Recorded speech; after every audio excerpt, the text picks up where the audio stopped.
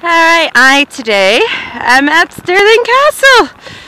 I came out here, a friend of mine um, was ill, so I came out to bring her a few things. So I thought, oh, how we boogie up with Robert the Bruce in, on, on Stirling Castle.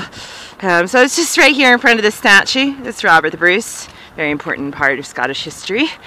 Woohoo, Brucey! That's him right up there.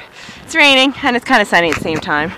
typical, typical Scotland.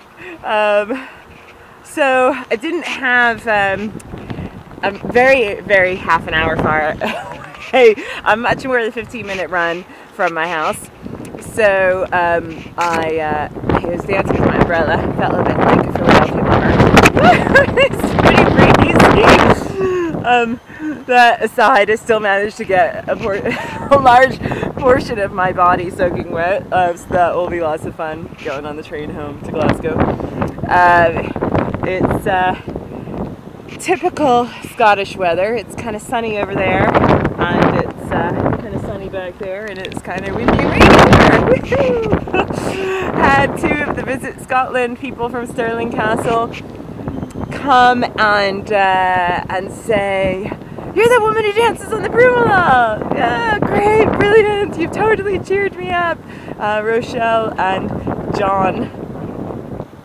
John. Um, and, uh, and so that that was that was fab. I didn't I didn't know that word had gotten through to Stirling about my, my morning dancing activities. So that's cool. So it wasn't a very long dance today because the weather is pretty abysmal am largely soaked at the minute. But it was kind of cool to dance with Robert the Bruce. and why not, I ask you? It's a very important part of Scottish history, so I should, should have a wee little boogie bio. I think he'd appreciate it and wherever he is in the cosmos.